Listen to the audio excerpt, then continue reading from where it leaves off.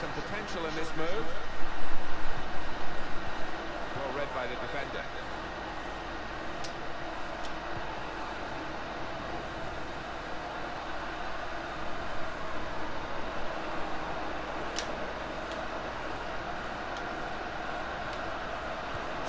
Good in there. Fucking great goal. It's a big moment for them in the match. They've pushed their lead now to two ahead. They've played well to this point, sometimes a two-goal